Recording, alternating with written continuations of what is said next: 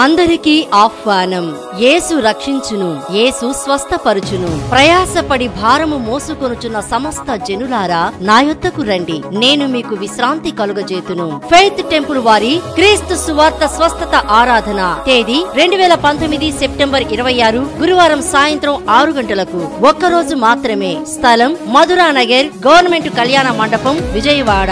వాక్యోపదేశకులు దైవజనులు P. Moses గారు. జీవ వృక్షం టీవీ సేవకులు వీరు ఆత్మ వరములు ఆత్మాభిషేకం కలిగిన దైవజనులు. ఫెయిత్ టెంపుల్ నున్నా సహోదరి సున్నతి గారు. స్వస్థత వరము కలిగిన వారు నున్నా బ్రదర్ రజనీకాంత్ రెడ్డి పూనూరు. ప్రతి వ్యాధి రోగ కుటుంబ సమస్యలతో సతమతమవుతున్నారా? మీ ప్రతి సమస్య కొరకు స్వస్థత ఆరాధనలో పాల్గొని స్వస్థత పొంది దైవాశీర్వాదములు పొందగలరు. ప్రేమతో ఆహ్వానించేవారు faith temple సంఘస్థులు. Cell nine eight double six seven two seven nine seven one. అని చెప్పినప్పుడు ఆ స్త్రీ ఏం చేసింది చెప్పండి?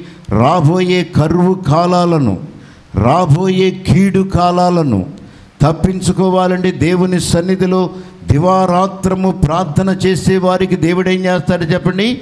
కీడును మేలును కూడా తెలియజేస్తాడు జరిగే కీడు తెలియజేస్తాడు. జరగబోయే మేలు కూడా ఆయన తెలియచేసే దేవుడు. కనుక దేవుని యందు భయభక్తులు కలిగి ఉన్న స్త్రీ కనుక తన కుటుంబముతో కూడా ఆమె ఎంతో భయభక్తులు కలిగి ఆ దేశంలో దేవుణ్ణి మహిమపరిచే స్త్రీగా ఉన్నది కనుక ఆమె ప్రార్థన దేవుని సన్నిధికి వెళ్ళినప్పుడు ఆ దేశము మీద దేవుని యొక్క కోపము ఏడు సంవత్సరాలు ఆ దేశం మీదకి రాబోవుతుండగా దేవుడు ఒక ప్రవర్త ద్వారా మాట్లాడి ఏడు సంవత్సరాలు వరకు ఈ దేశంలో కరువు కలుగుతున్నది కనుక నీవు ఎక్కడికి వెళ్ళాలన్నా ఈ స్థలము ఆ స్థలమని కాదు కానీ ఈ ప్రాంతము నుంచి నీకు ఇష్టం వచ్చిన స్థలానికే వెళ్ళు. దేవునికి స్తోత్రము. అరడే ఆ మాటను బట్టి ఆమె ఏం చేస్తుంది చెప్పండి? దేవుని ఎందుకంటే దేవునికి శత్రువులై ఉన్న దేశం ఫిలిస్టీలు ఆ దేశంలోనికి వెళ్ళి ఏడు సంవత్సరాలు ఏ రీతిగా బ్రతికిందో మనకు తెలియదు కానీ ఆమె మరలా ఏడు సంవత్సరాలు అయిన తర్వాత మరలా జ్ఞాపకం చేసుకుంది నా స్వదేశానికి నేను వెళ్ళాలి. దేవునికి స్తోత్రము. అలడయ నా స్వదేశంలో దేవుని మాటను బట్టి ఈ దేశానికి వచ్చాను. క్షేమముగానే ఉన్నాను. అలాగే నయోమి కూడా కరువు వచ్చిందని ఏం చేస్తుంది చెప్పండి? ఆ దేశం నుంచి నుంచి మోయాబు దేశం. మోయాబు దేశానికి వెళ్ళింది. దేవుని మాటను అడగకుండా వెళ్ళింది.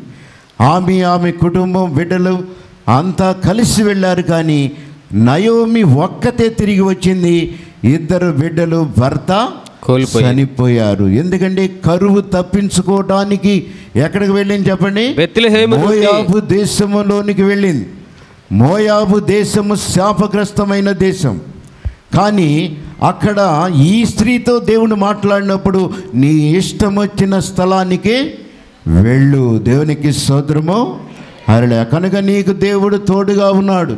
ఏ స్థలంలోనికి వెళ్ళినా దేవుడు నీకు తోడుగా ఉన్నాడు కనుక ఈ స్థలము విడిచి వేరే స్థలానికి నీవు వెళ్ళు అని చెప్పి ఉన్నాడు. దేవునికి సోదరము అలా ఆ మాటను బట్టి ఫిలిస్టీన్ల దేశంలోనికి వెళ్ళి ఏడు సంవత్సరాలు అక్కడ ఆమె నివాసము చేసిన తరువాత ఏడు సంవత్సరాలు అయిపోయిన తరువాత తమ స్వదేశానికి వెళ్ళాలి అని ఆమె ఎవరి దగ్గరకు వచ్చింది చెప్పండి?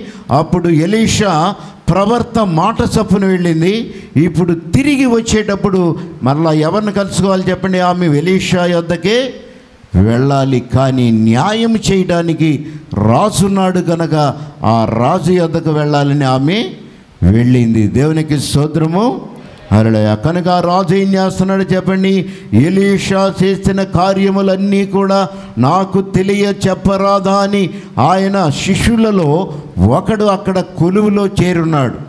ఆయన శిష్యులలో ఒకడు అక్కడ కొలువులో చేరి ఉన్నాడు. ఆ శిష్యుడిని అడుగుతూ ఉండగా ఆ శిష్యుడు చెబుతున్నాడు ఒక ఎలీషా చనిపోయిన కుమారుణ్ణి బ్రతికించి ఉన్నాడు. దేవునికి సోదరము. అలా కనుక ఆ కుమారుడు బ్రతికే ఉన్నాడా? ఎలీషా చేసిన ఆ గొప్ప కార్యము చేసిన కుమారుడు సజీవుడిగా నిలబడి ఉన్నాడా? గెహాజీ అని అడుగుస్తూ ఉండగా సజీవుడిగానే ఉన్నాడయా ఆయన చేసిన కార్యాలు చాలా గొప్పవి అని తెలియపరుస్తూ ఉండగానే ఆ స్త్రీ ఎక్కడికి వచ్చింది చెప్పండి? సభలోనికి వచ్చింది. దేవునికి సోదరము అలడే అప్పుడు గెహాజీ వెనక్కి తిరిగి చూడగానే నా ఏలినవాడా నా రాజా ఇదిగో ఎలీషా బ్రతికించిన కుమారుడు వీడే. దేవునికి సోదరము అలా ఎలీషా బ్రతికించిన వాడు ఎందుకంటే మరణ పడక మీద చనిపోయి మరలా సజీవుడుగా నిలబడిన కుమారుడు వీడే అని చెప్పినప్పుడు ఆ రాజు చూసి ఆశ్చర్యపోతున్నాడు అక్కడ. ఎందుకంటే ఇస్రాయేలీలలో దేవుడు ఉన్నాడు ఇస్రాయేలీలలో ప్రవర్త ఉన్నాడు నీతిగా నడుచుకునే ప్రతి ఒక్కరి ప్రార్థన ఆయన అంగీకరిస్తున్నాడు. దేవునికి సోదరము అలా కనుక ఎలీషా దగ్గరకు ఆ స్త్రీ వచ్చాయా నాకు ఎలీషా చెప్పినట్లుగా నేను ఏడు సంవత్సరాలు ఈ దేశాన్ని విడిచిపెట్టి నేను వేరే ప్రాంతానికి వెళ్ళానయ్యా. నా భూములు ఎక్కడున్నాయో నా ఇల్లు ఎక్కడుందో నా ఆస్తి ఎక్కడుందో నాకు తెలియదయ్యా. నాకు సహాయం చేయమని రాజు మనవి కోరి ఉంది. దేవునికి సోదరము అలా కనుక ఏడు సంవత్సరాలు మన వీళ్ళు కానీ విడిచిపెట్టి వెళితే దొంగలు బతకనిస్తారా చెప్పండి? బతకనివ్వరు. ఎందుకంటే ఒక వారం రోజులు మన ఇంటిలో లేకపోతే తలుపులు ఏమవుతాయి చెప్పండి? ఊడి కింద పడిపోతాయి. అలాగే ఏడు సంవత్సరాలు ఆమె వెళ్ళి ఎలీషా మాట చప్పున మరలా తిరిగి వచ్చినప్పుడు ఆమె భూములు ఉన్నాయి అలాగే ఆమె ఇళ్ళు ఉన్నాయి మరలా తిరిగి దేవుడు ఏం చేశాడు చెప్పండి? దాని ప్రతిఫలాన్ని కూడా ఆ స్త్రీకి ఇమ్మని ఆయన సెలవిచ్చున్నాడు. దేవునికి స్తోత్రము. అలా దేవుని రాజ్యము మాట వింటే దేవుని మాట వింటే ఆ నీతి ఎలా ఉంటుందో చూడండి. మన సునీతి వల్ల మనము మన సునీతిని ఆధారం చేసుకుంటే ఆ నీతి ఎలా ఉంటుందో చూడండి. అలాగే నయం ఏం చేస్తుంది చెప్పండి? కరువు వచ్చిందని చెప్పి బెత్తలహేములు అనేక మంది అక్కడ ఒక కరువు వచ్చినా సరే వారు ఏం చేశారు చెప్పండి? దేవుడే త మనల్ని క్షమిస్తాడు. ఏదో ఒకరోజు ఆయన శిక్షకు మనం పాత్రులమైన తిరిగి రక్షించే దేవుడు ఆయనే స్వస్థపరిచే దేవుడు ఆయనే. దేవునికి సోదరము అలా అని చెప్పి దేవుని యొక్క మరి సన్నిధిలో ఇస్రాయేలీలందరూ కూడా బెత్తలహేమును విడవకుండా అనేక మంది ఉంటే నయం ఏం చేస్తుంది చెప్పండి? కరువు వచ్చిందని వ్యాధి వచ్చిందని ఏం చేస్తుంది చెప్పండి? మోయాబు దేశం మోయాబు దేశానికి వెళ్ళింది. దేవునికి సోదరము అలా అక్కడ ఏం జరిగింది చెప్పండి? ఆమె కుటుంబంలో బిడ్డలు చనిపోయారు భర్త చనిపోయాడు. ఇంకా నయోమికి కూడా దేవుడు మరణ పడకకు రాకక మునిపే మాట్లాడుతూ ఉన్నాడు నా కుమార్తె ఇంకా నీవు బెత్తలహేము నిన్ను ఆశీర్వదించిన ఆ పట్టణాన్ని జ్ఞాపకం చేసుకోమని మాట్లాడినప్పుడు నయోం ఏం చేస్తుంది చెప్పండి? తిరిగి మరలా బెత్తలహేముకు. చేరి ఉన్నది. దేవునికి సోదరము అందరూ అంటున్నారు నయోమి వచ్చినది నయోమి వచ్చినది నయోమి వచ్చినదని అందరూ అంటుంటే ఆమె ఆమె ఏమంటుంది? సర్వశక్తుడు నాకు చాలా దుఃఖము కలుగజేసెను. సర్వశక్తి దేవుడు నాకు చాలా దుఃఖము కలుగజేసెను. కలగ చేసెను కనుక నన్ను నయోమి అనక నన్ను నయోమని మీరు పిలవక మారా అనుడి. మారా అని నన్ను అనుడి. పిల- పిలవండి. సమృద్ధి నేను గలదాన్నై వె- చేదైపోయాను మధురమైన నా జీవితాన్ని సేదు విషయముగా మార్చేసుకున్నాను. దేవుని మాటను బట్టి నేను నయోమి మధురమైన నా జీవితం సేదు విషయముగా మారిపోయింది. దేవుని మాట విన్నవారి జీవితాలు ఎలా ఉన్నాయి? వినని వారి జీవితాలు ఎలా ఉన్నాయి? కనుక దేవుని మాట ఎందు విశ్వాసము కలిగి ఉంటే దేవుడు ఏం చేస్తాడు చెప్పండి? దేవుని కొరకు ఏమి నష్టపోయావో? దేవుని కొరకు నీవు ఎంత సమయాన్ని దేవుని మందిరంలో గడుపుతున్నావో? దాన్ని తిరిగి దేవుడు ఏం చేస్తాడు చెప్పండి నీకు? ఆశీర్వాదంగా ఇవ్వనై ఉన్నాడు. దేవుని సన్నిధిలో ఎంత సమయాన్ని గడుపుతున్నావు? దేవుని సన్నిధిలో ఎంత సమయం ప్రార్థనలో ఉంటున్నావు? ఎంత కృతజ్ఞత కలిగి ఉంటున్నావు? దేవుని సన్నిధిలో ఆయన చేసిన మేళ్ళకు నీవు కృతజ్ఞత కలిగి ఉంటే అంతకంతకు దేవుడు ఏం చేస్తాడు చెప్పండి? ఆ స్త్రీకి ఇచ్చినట్లుగా అక్కడ ఏం చేస్తాడు చెప్పండి? పోయిన ఆస్తి అంతా కూడా తిరిగి వడ్డీతో సహా ఇచ్చాడు. దేవునికి స్తోత్రము. అలా దేవుని రాజ్యం యొక్క నీతి అలా ఉంటుంది. దేవుని మాట వింటే వారి జీవితంలో ఫలాలు అలాగుంటాయి. దేవుని మాట వినకుండా సునీతి చేత నడిచిన వారి జీవితాలు ఎలా ఉంటాయండి ప్రాణాలు పోగొట్టుకుని కొర ప్రాణముతో ఉంటాం. కొర ప్రాణముతోనే మిగిలి నయోమి తిరిగి వచ్చింది. తిరిగి వచ్చినప్పుడు దేవుని యొక్క క్షమార్పణ పొందింది. మరలా తిరిగి యేసు ప్రభు యొక్క జన్మ వంశావళిలో ఆమె కూడా చేర్చబడింది. దేవునికి సోదరము అలా తిరిగి వచ్చిన వారే గొప్పవారు. అంతేగాని తిరగబడిన వారు గొప్పవారు కాదు. కనుక లోకాస్వార్త పదకొండో అధ్యాయము రెండో వచనములో చెప్పండి. అందుకాయన అందుకాయన మీరు ప్రార్థన చేయనప్పుడు మీరు ప్రార్థన చేయునప్పుడు తండ్రి తండ్రి నీ నామము పరిశుద్ధపరచబడును గాక. నీ నామము పరిశుద్ధ పరచబడును గాక. నీ రాజ్యము వచ్చును గాక. రాజ్యము వచ్చును గాక. మాకు కావలసిన అనుదిన ఆహారము. మాకు కావలసిన అనుదిన ఆహారము. దినదినము మాకు దయచేయము. దినదినము మాకు దయచేయమని. మేము మాకు ఉన్న ప్రతి వానిని మాకు ఇచ్చి ఉన్న ప్రతి వానిని క్షమించుచున్నాము గనుక. ఆ, క్షమించుస్తున్నాము కనుక. మా పాపములను క్షమింపుము. మా పాపములను క్షమించుము. క్షమించమని వారు ప్రార్థన చేస్తున్నారంట. యేసు ప్రభు వారి శిష్యులు ఏ రీతిగా ప్రార్థన చేయాలయ్యా? మీరైతే రాత్రులు వెళ్ళి ప్రార్థన చేస్తున్నారు ఉదయం వస్తున్నారు దేవునితో మాట్లాడే ఆశ్చర్య కార్యాలన్నీ చేస్తున్నారు. మేమైతే సమస్తాన్ని విడిచిపెట్టి మేము నిన్ను ఎమ్మడిస్తున్నామయ్యా ఏ రీతిగా ప్రార్థన చేయాలో మాకు తెలియటం లేదయ్యా.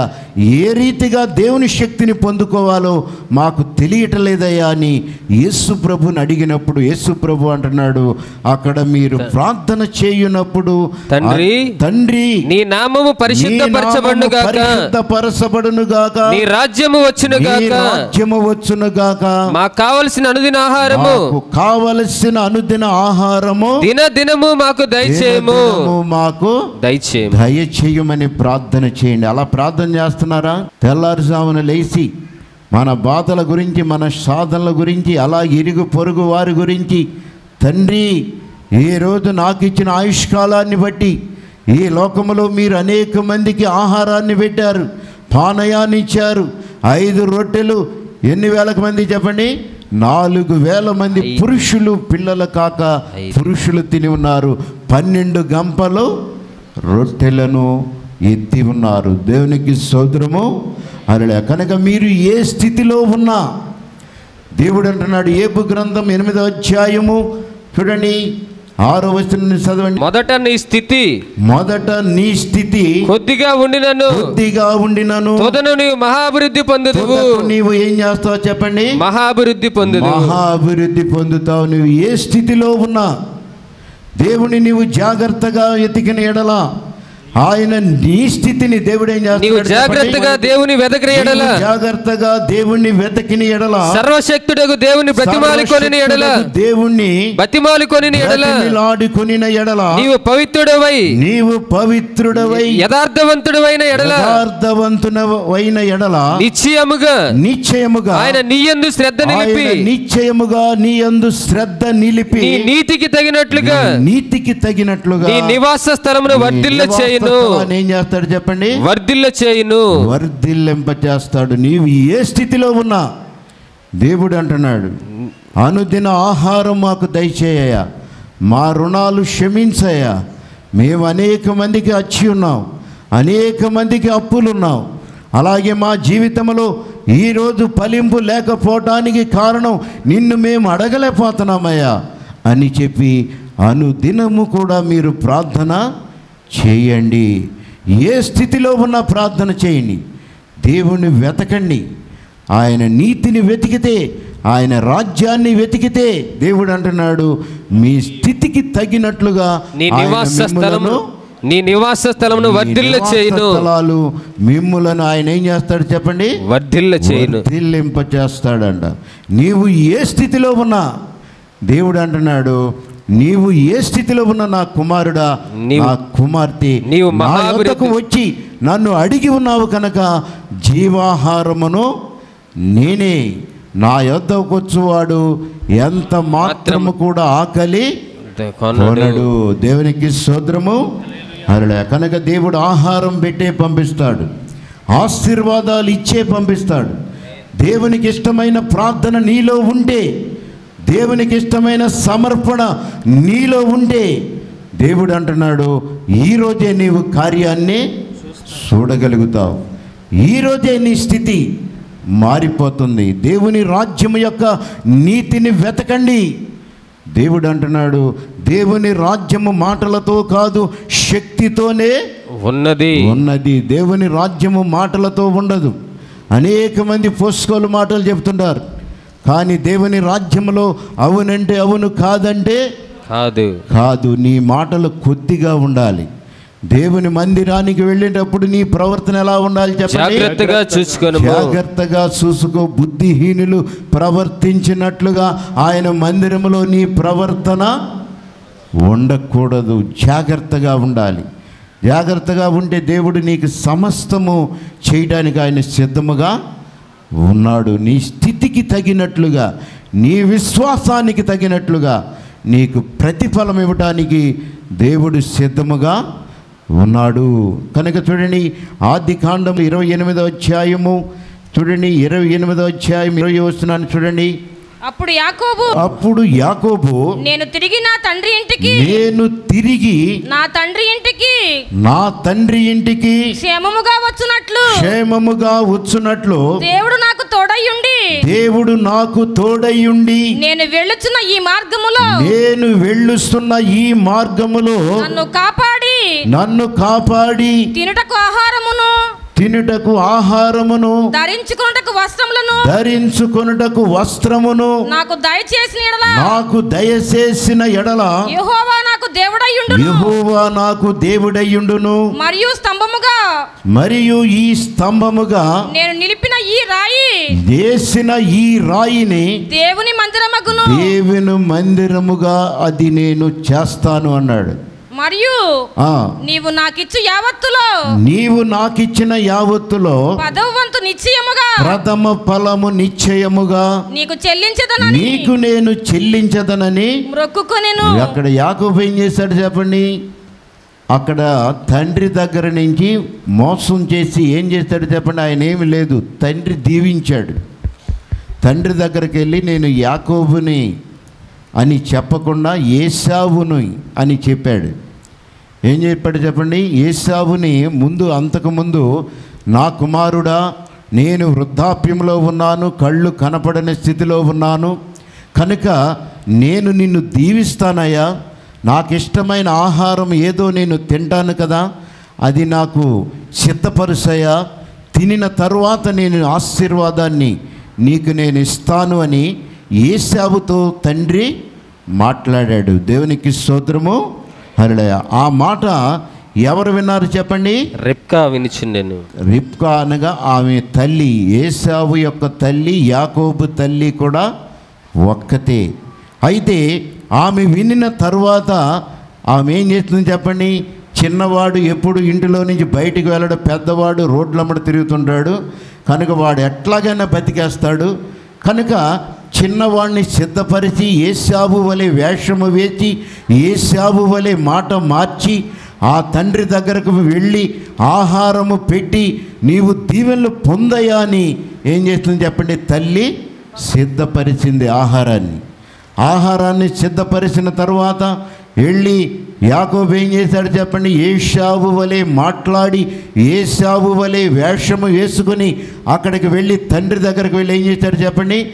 తండ్రి నన్ను దీవించుమని ఆహారము తిన్న తర్వాత దీవెనలు పొందుకున్నాడు. గొప్ప దీవెనలు పొందుకున్నాడు. పొందుకుని వెళ్ళిపోయాడు. అదే ఆస్తిపాస్తులేమి ఇవ్వలేదు అక్కడ. యాకోబుకి ఆస్తిపాస్తులేమి ఇవ్వల? ఆనాడు నోటి మాట అంత దీవెనకరంగా ఉంటుంది.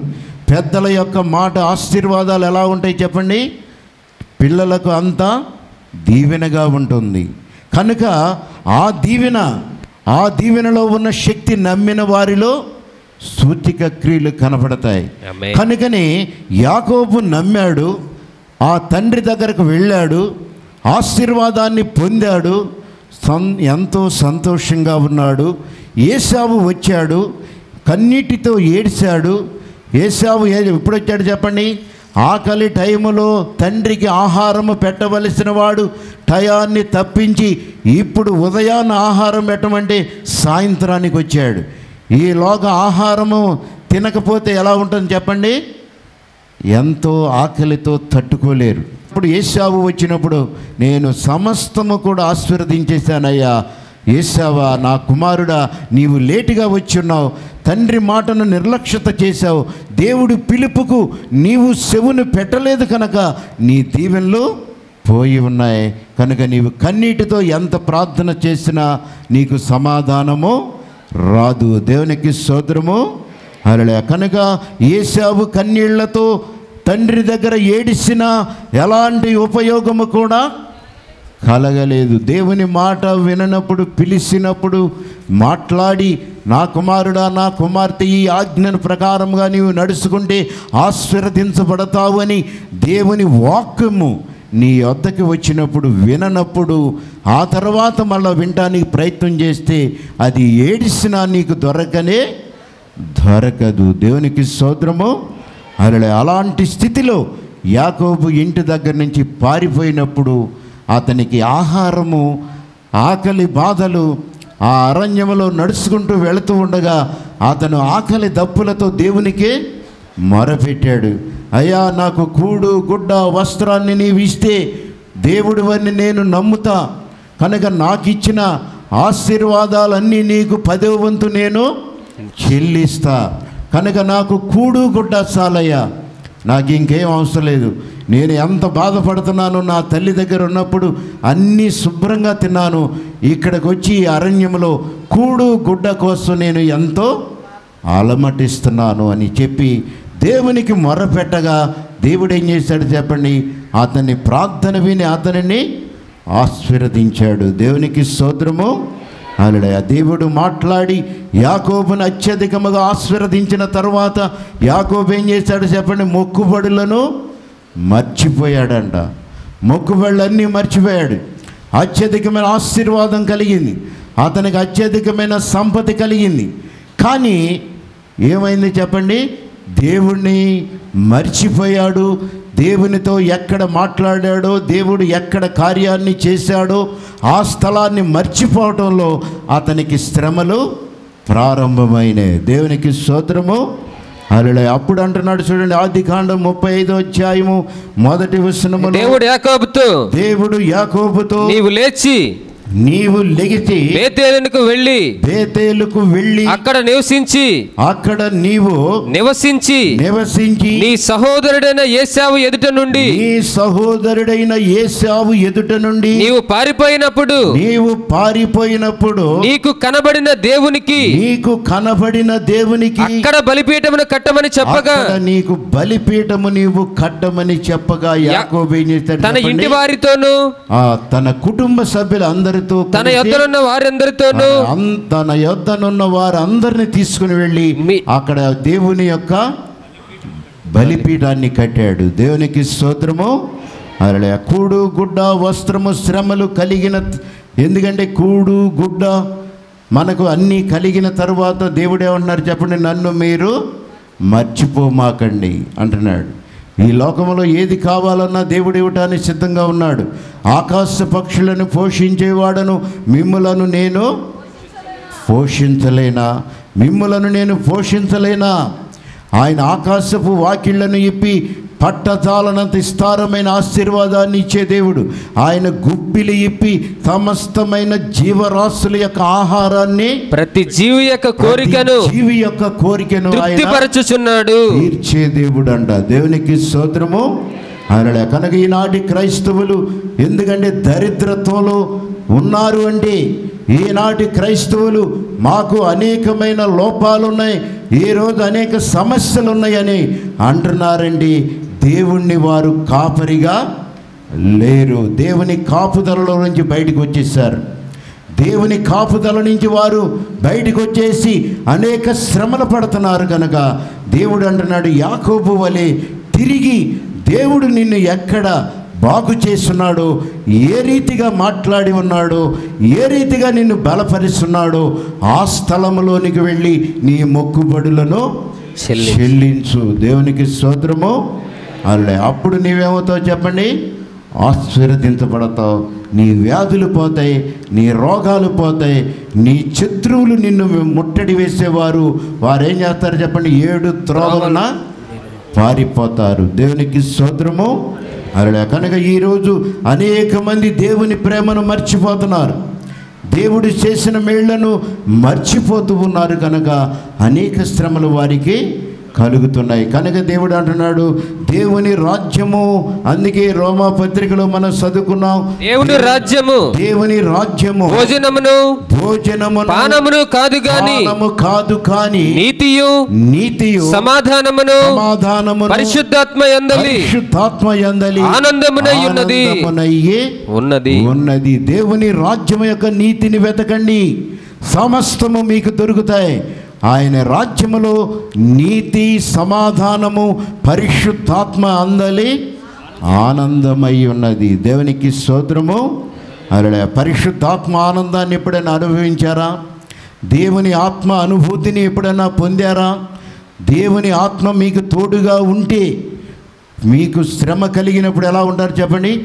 వస్త్రహీనతైనను ఖడ్గమైనను వేదనైనను శోధనైనను క్రీస్తులో నుండి మీరు ప్రేమ నుండి ఎడబాపువాడెవడు? మీ ప్రేమను విడిపోరు అంట. క్రీస్తు ప్రేమ నుండి. క్రీస్తు ప్రేమలో నుండి మీరు మళ్ళీ ఎడబాపువాడు ఎవడు మనలను ఎడబాపేవాడు ఎవడు? ఎవరు అంటున్నారు? దేవునికి స్తోత్రము.